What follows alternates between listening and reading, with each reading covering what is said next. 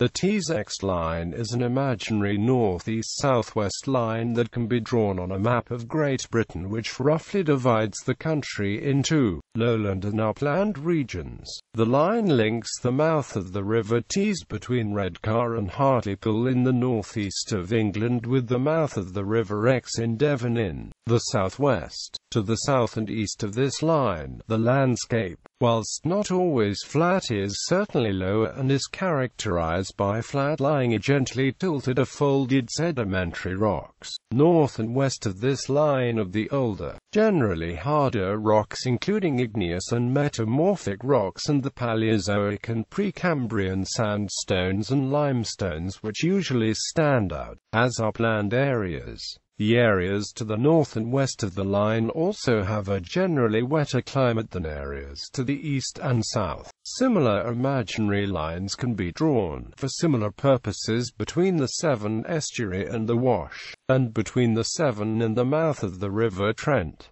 The cross-country route follows the line by railway along most of the length.